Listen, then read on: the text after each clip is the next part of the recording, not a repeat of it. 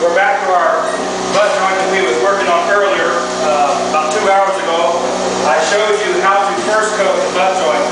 Now that it's had a couple hours to set, uh, I'm going to show you what it takes to put a second coat on this.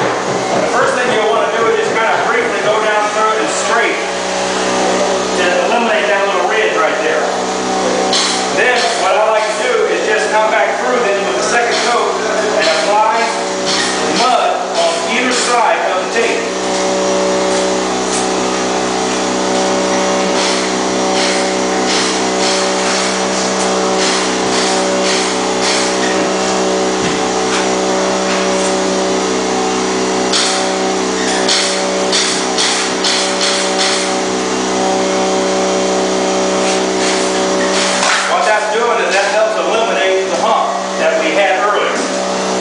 Next step we do is just simply clean the edges again. Always keeping the edges of your mud nice and straight, nice and clean.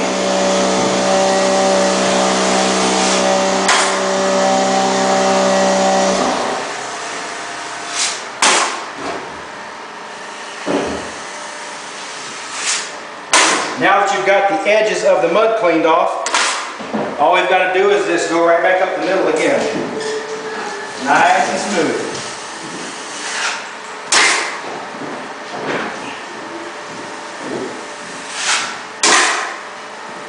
And that's how you put on the second coat of mud on a.